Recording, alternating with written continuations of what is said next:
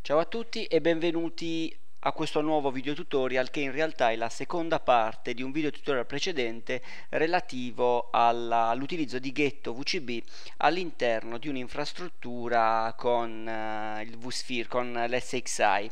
Allora, un brevissimo flash per ricordarci quello che abbiamo fatto precedentemente nel precedente tutorial che chiaramente potete andare a, a visionare eh, delle piccole modifiche le possiamo riscontrare all'interno della cartella SXI dove avevamo creato il nostro batch che è stato modificato. È stato modificato per far sì che ehm, il nostro batch stesso possa copiare, possa effettuare il, il backup non solo della macchina Asterisk 11 che avevamo visto precedentemente, ma anche del firewall pfSense e della macchina di controllo Windows XP. E alla fine chiaramente mandare un'email eh, dove in allegato è presente il log contenente i risultati del backup. Si vede qui eh, in modo molto preciso che mentre nel primo, nella prima riga di codice c'è eh, un normale reindirizzatore nel backup vm.log, nella seconda riga di, nella terza meglio riga di codice c'è un doppio reindirizzatore, quindi questo significa che ehm, in pratica tutto il tutto quello che viene prodotto a video da questa riga non deve essere altro che posizionato eh, in coda al file backupvm.log a differenza del primo che indica la creazione del file backupvm.log ora eh, il comando viene svolto senza alcun problema, o meglio il batch viene svolto senza alcun problema e come possiamo verificare all'interno del data store contenente chiaramente i nostri backup possiamo vedere che c'è una macchina asterisk 11 con eh, tre eh, in pratica mh, mm, con tre eh, backup eh, dove l'ultimo chiaramente risale al 21, una macchina pfSense con due backup e una macchina Windows XP con due backup. Eh, chiaramente Asterisk 11 eh, ha tre backup invece di, di due perché eh, stavamo giochicchiando con i backup eh, prima che avessi fatto la modifica all'interno del batch. Per ehm, eh, verificare che chiaramente quanto so, stia dicendo io corrisponde al vero, possiamo andare ad ad eh, aprire un, ehm, una finestra, un, o meglio un browser e accedere direttamente a Zimbra per verificare che l'email sia effettivamente arrivata. Andiamo all'interno della nostra del nostro Zimbra. Eccoci qui. Quindi abbiamo che il cliente eh, sul quale ho apportato la modifica, o meglio la creazione di questa procedura automatizzata di backup attraverso l'uso di Ghetto VCB, mi manda giornalmente un log. Attraverso chiaramente la visione di questo log io posso diciamo analizzare quanto effettivamente fatto e chiaramente agire qualora dovesse andare qualcosa di storto. È chiaro che eh, potremmo eh, migliorare e ottimizzare ulteriormente il processo di analisi con, eh, con Zabbix, eh, come si può vedere in, eh, in, un altro log eh, che mi è arrivato, però questa è un'altra storia e forse in futuro metteremo su anche dei video tutorial. Ma mh, mm, procediamo oltre. Eccoci finalmente pronti a verificare che quanto abbiamo detto nella prima parte corrisponda a, a, verità, cioè se effettivamente riusciamo attraverso il ghetto VCB a recuperare, a fare il recovery di una VM. Quindi il primo step da fare è quello di posizionarci all'interno dell'SXI. Eh, sì, le operazioni di recovery devono essere fatte a riga di comando, quindi eh, non è difficilissimo. Se prestate un'attenzione attenzione mh, mm, maggiore rispetto ai video tutorial precedenti ce la faremo senza alcun problema perché mh, mm, chiaramente nulla è impossibile. Quindi loghiamoci tranquillamente. La password è andata un po' male. Ok loghiamoci tranquillamente. Ci posizioniamo direttamente all'interno della cartella ghetto vcb vista in precedenza. Quindi se andiamo in datastore 1 e in ghetto vcb andiamo a vedere cosa effettivamente si trova all'interno. All'interno abbiamo una ghetto VCB eh, trattino eh, restore underscore VM restore configuration template che è quello che useremo. Eh, io mh, mm, mi mm, risolvo il problema del restore in questo modo. Creo tanti file restore quante sono le macchine mm, di cui abbiamo fatto il backup proprio per semplificare l'attività di recupero successiva. Perché è, è risaputo che durante un'attività di recupero si ha il fiato sul collo del titolare e quindi bisogna velocizzare le operazioni di recupero stesse. Quindi andiamo ad aprire a schermo intero la nostra, eh, la nostra CLI.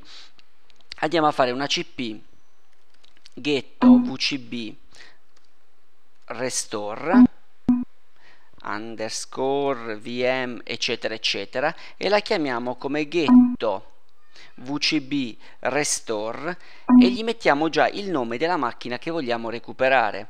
Andiamo a vedere prendiamo il caso di voler recuperare l'asterisk 11 andiamo a chiamarla andiamo a chiamarla asterisk 11 quindi andiamo a vedere cosa c'è all'interno avremo una getto vcb restore asterisk 11 quindi andiamo direttamente a um, modificare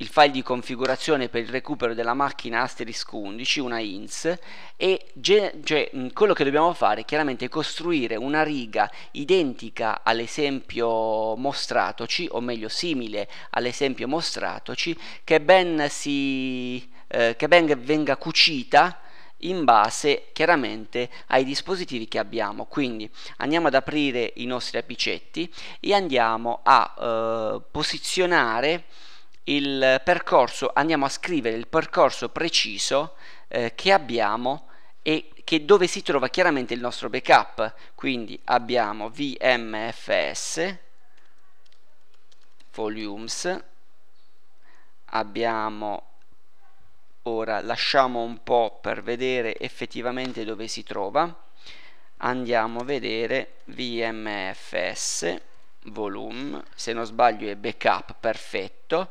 backup andiamo a vedere cosa c'è backup ho sbagliato la dir e fa riferimento alla, ai comandi Windows e quindi andiamo a verificare cosa abbiamo all'interno eh, di, di questo path e abbiamo asterisk 11 perfetto. Quindi se andiamo a vedere all'interno di asterisk 11 abbiamo un sacco un sac sacchissimo di dati. Ora per maggiore precisione andiamo a vedere in backup.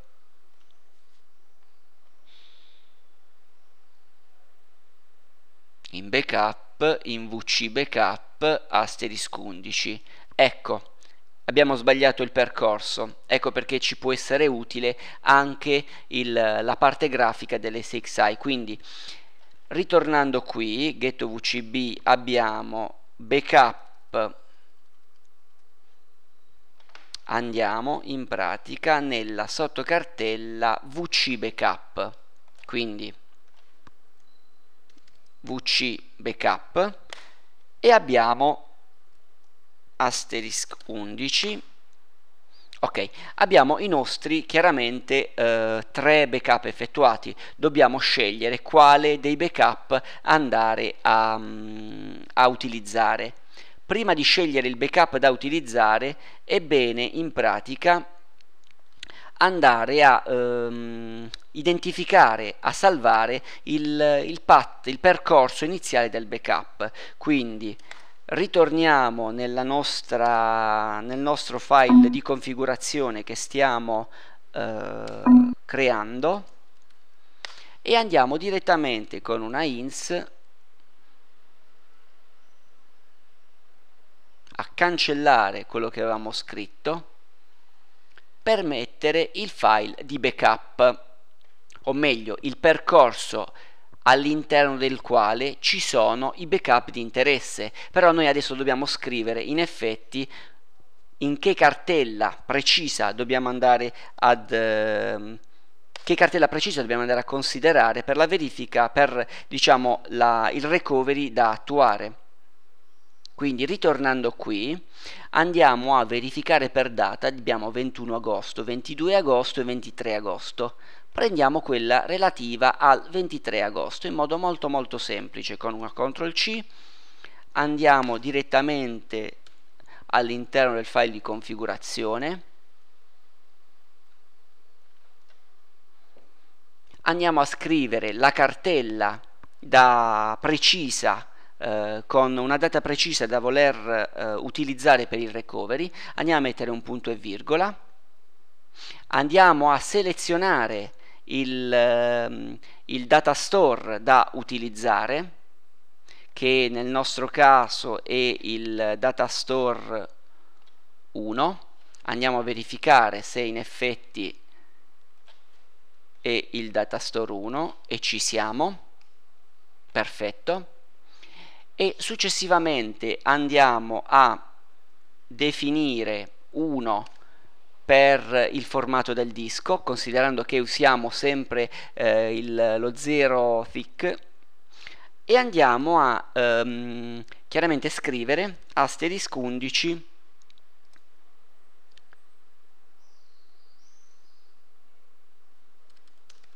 andiamo a scrivere il nome della macchina eh, che vogliamo dare al recupero.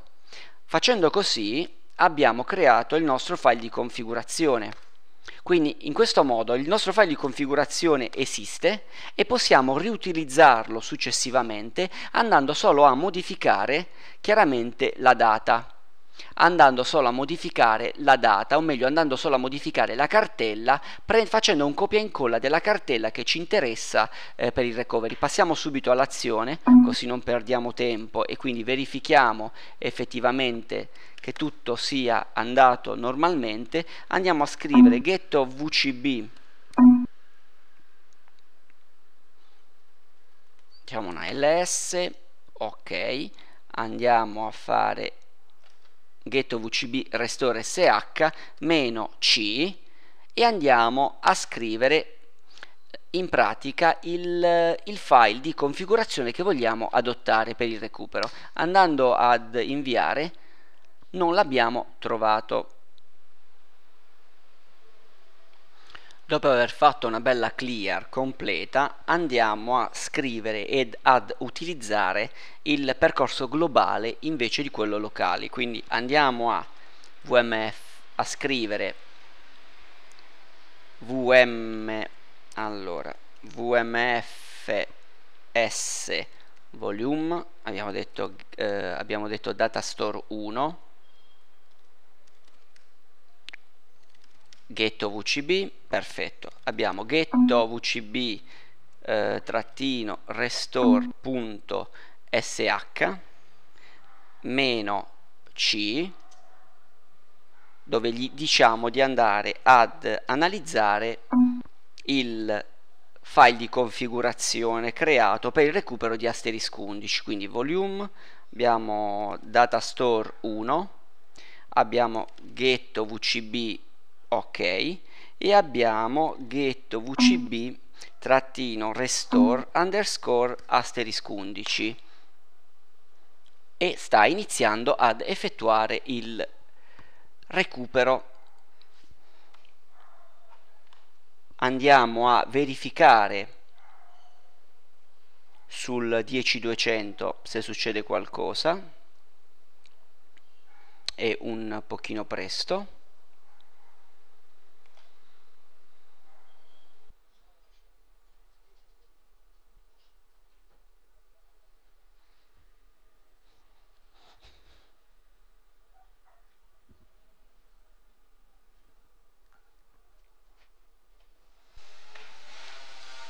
eccolo qua. Il recupero ha avuto esito positivo asterisk 11 recover. Abbiamo visto che l'ha fatto in un tempo proprio mm, microscopico. Abbiamo un minuto e 80 andiamo però per esattezza a mandarlo in esecuzione.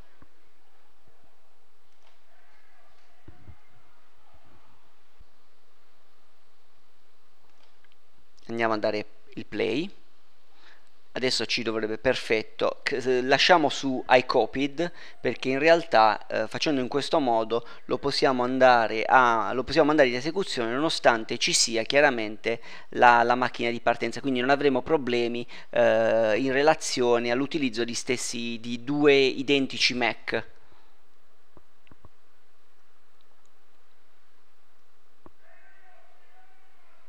Eccolo qui. La macchina sta tranquillamente partendo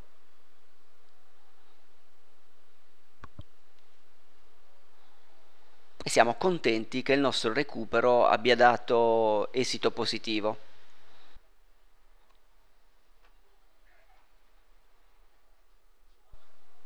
Eccolo qui, il gioco è fatto, abbiamo avuto esito positivo, quindi mh, riordinando un po' le idee possiamo spegnere chiaramente questa macchina perché non è, che, non è stato altro che un test.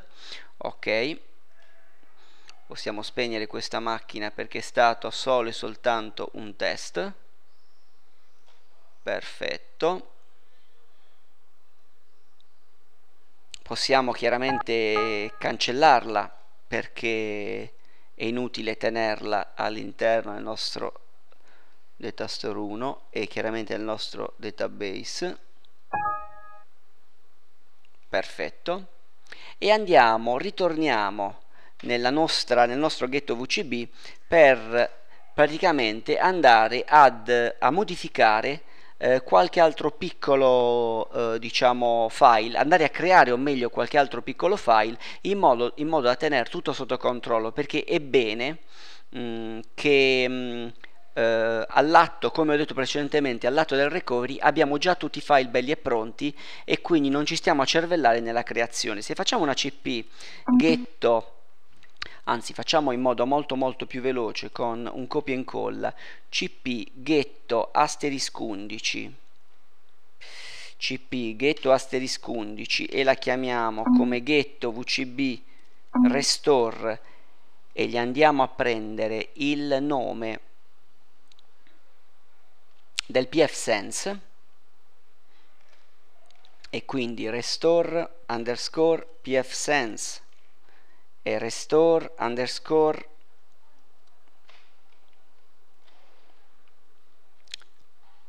Store underscore window winxp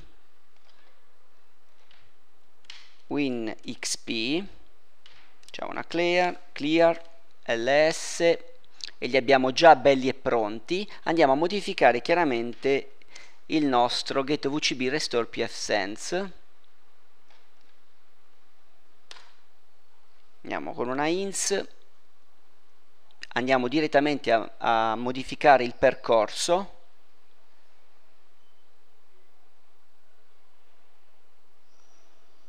E andiamo a mettere pfSense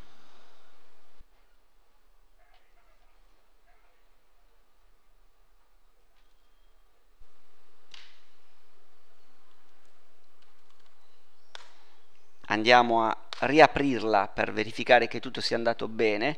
Per eh, ulteriore eccesso di zelo andiamo a verificare che il percorso sia corretto.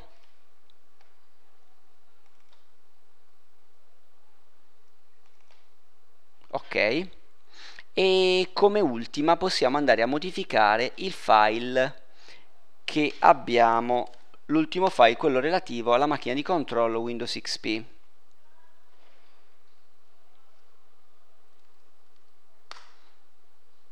andiamo con una ins. Ok. Abbiamo win xp andiamo a mettere data. Winxp recover. Giusto per preparare già che stiamo preparo tutto per eventuali fault anche con la macchina relativa ad asterisk. Andiamo con una ins.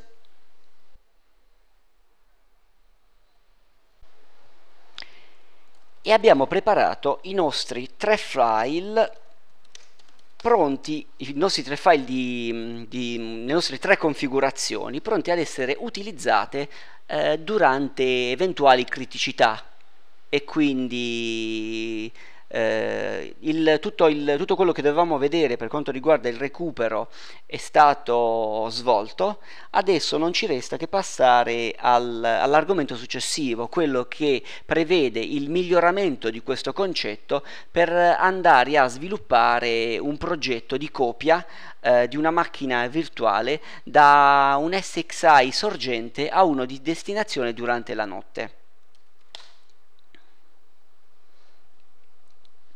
Eccoci finalmente eh, arrivati all'ultima parte del, di questo video, quella a cui tengo maggiormente e per la quale forse prenderò delle critiche, eh, perché quello che stiamo facendo è un progetto low budget che non può assolutamente eh, combattere contro i grossi colossi quali Vim o il vCenter per la creazione delle repliche con due SXI e stato, diciamo, siamo stati obbligati a trovare e a creare una soluzione per perché il cliente aveva speso tutti i suoi soldi nell'acquisto eh, del server principale, del server nuovo e voleva riutilizzare il server vecchio che usava fino a un mese fa per avere delle repliche da utilizzare chiaramente qualora il server eh, principale andasse in fault. Quindi ritornando al concetto che abbiamo visto precedentemente, quello relativo eh, all'utilizzo di ghetto VCB, se eh, estendessimo il concetto eh, andando ad analizzare due server, il server SXI destinazione e il server SXI sorgente. All'interno del server SXI sorgente c'è il datastore 1 che c'è anche il datastore 1 sul server SXI destinazione e chiaramente nel, nel, nel sorgente abbiamo anche le VM VM1, 2, VMN in generale. Questa piccola cartella NFS ci porta all'immagine successiva. Se noi andassimo utilizzando la tecnica del man in the middle ehm, andassimo a prendere un NAS all'interno della quale andassimo a scegliere una folder un, di condivisione NFS e l'andassimo a montare in, entrambe, in entrambi gli SXI, avremmo un dispositivo centrale che potremmo usare come ponte. In che senso?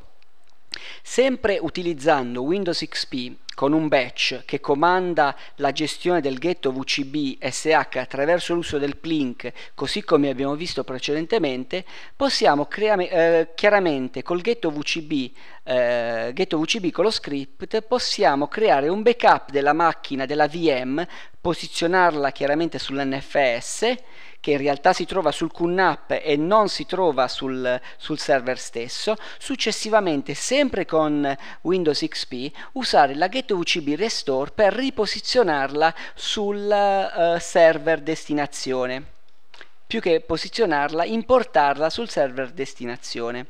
Eh, Andando ulteriormente ad evolvere il concetto, qualora non doveste avere un, uh, un NAS NFS che però diciamo è molto semplice da, da reperire per i costi molto molto bassi, potreste uh, creare una VM uh, con un NFS share all'interno dell'SXI del server sorgente per poter chiaramente creare questa procedura. in pratica prima la, la VM1 verrebbe depositata all'interno dello share montato anche come server eh, nel server destinazione e poi chiaramente importato all'interno del server destinazione. Ora non ci resta che vedere step by step tutto quanto fatto, anche se sinceramente è semplice perché eh, facciamo riferimento a tutti i concetti visti eh, precedentemente. Eccoci posizionati sulla macchina di produzione del cliente o meglio sulla macchina di controllo eh, che gestisce le operazioni di eh, creazione del backup eh, dal, dal, dall'SXI sorgente all'importazione dello stesso backup sull'SXI di destinazione. Abbiamo in pratica, riordiniamo le idee, che um, l'SXI sorgente è il 10.00156 dove come potete vedere ci sono un sacco di macchine in uh, produzione e che è una normalissima macchina peraltro ottima uh, un Dell un Dell un, un PowerAge R520 con un solo processore andiamo a vedere la configurazione all'interno della quale vediamo chiaramente il backup che non è altro che uno share NFS e il datastore 1 andiamo a vedere la macchina 10.00200 che corrisponde in realtà al, um, all'SXI, all'SXI di destinazione e avremo che anche qui c'è un datastore backup che è collegato chiaramente a uno share NFS e abbiamo un datastore 1 che in pratica uh, sono dei dischi presenti all'interno del server stesso.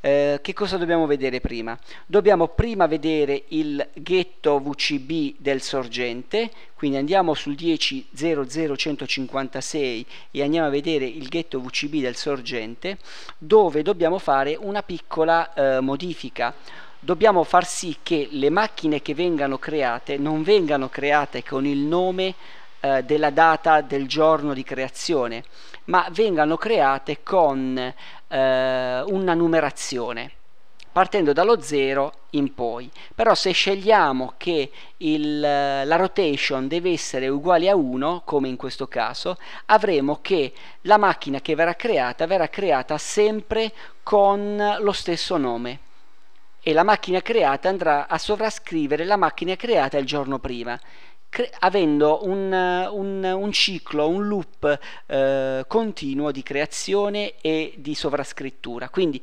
rivediamo un po'.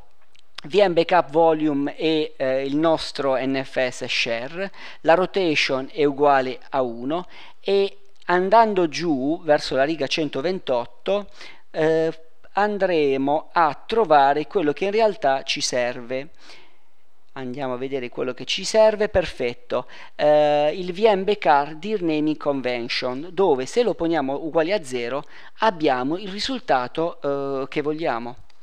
Quindi andando a vedere il risultato che vogliamo, in realtà andando sulla sorgente, andando nel backup, andando in Browse Data Store, avremmo che in VM server J sarà server JEDBS-0, come anche Windows XP Server sarà XP Server-0, Windows XP Grafica, Windows XP underscore Grafica-0, quindi avranno sempre gli stessi nomi.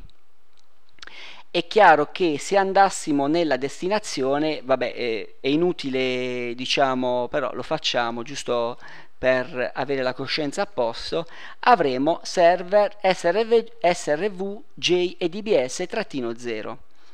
Quindi tutte e due fanno riferimento a uno stesso NFS. Andiamo subito a dare un'occhiata al, al, batch creato che non fa altro che replicare eh, i contenuti di un SXI sorgente nel, nel destinazione. Vediamo che ci sono le, la stessa, stessa, riga di quello che abbiamo visto precedentemente con la cancellazione del, del log che crea. Il plink si collega alla macchina sorgente e non fa altro che mandare in esecuzione il ghetto VCB SH e la macchina relativo alla macchina SRV JEDBS, mandando chiaramente tutto il risultato, tutto l'output sul backup vm.log. Successivamente c'è un altro plink che si collega alla macchina destinazione che non fa altro che cancellare la, un ipotetico, ehm, un'ipotetica importazione della SRV, SRV JEDBS che io ho chiamato clone e poi alla fine abbiamo il plink che fa normalmente l'accesso al 200 per poter fare l'importazione vera e propria. L'importazione vera e propria ehm, in pratica eh, effettuata dalla Ghetto VCB Restore SH e soprattutto dal file creato per ogni macchina che si chiama ghetto vcb restore underscore srvjedbs che andiamo subito a vedere andiamo subito a vedere nel 200 eccolo qua. Come abbiamo visto precedentemente non dobbiamo fare altro che creare questa stringa affinché in pratica eh, definisca il, eh, definisca il path, il percorso all'interno del quale c'è la macchina da importare, il percorso all'interno del quale importare la macchina, eh, il formato del disco e il nome che deve assumere la macchina dopo l'importazione. Quindi se andassimo nel 200 avremmo che in realtà tutte le macchine sono identiche, le macchine importate sono identiche alle macchine delle 6xi sorgente con l'underscore clone. Ragazzi, eh, è in produzione da un mese e mezzo, eh, è chiaro che, ripeto, non può essere eh, paragonato a software più blasonati che dalla loro hanno un, uh, un know-how molto molto uh, più elevato del mio, hanno anche un numero di consulenti pronti a risolvere tutti i vostri problemi, però sta funzionando abbastanza bene e abbiamo anche bloccato il server sorgente per dar eh, vita al server di destinazione e ha funzionato senza al, alcun problema. E considerate che ogni giorno abbiamo i log eh, che, che, vengono inviati attraverso l'uso del fantastico sendemail.exe e quindi funziona. Se volete anche voi provarlo sarei felice anche di darvi qualche dritta. Arrivederci al prossimo video tutorial